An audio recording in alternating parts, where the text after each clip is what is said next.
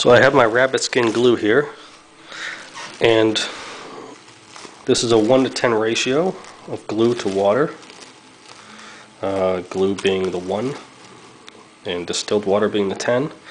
And there's a test I can do to, to test its strength. And what I want to do is I want to press in and tear the glue.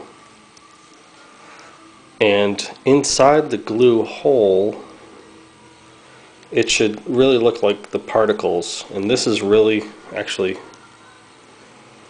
very hard to tear. This is a really strong glue. Too strong, actually. Because it's breaking in sharp lines, like that.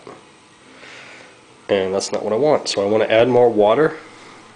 And I'm going to heat it up and I'm going to let it cool down again in the fridge and I'm going to perform this test again until I actually see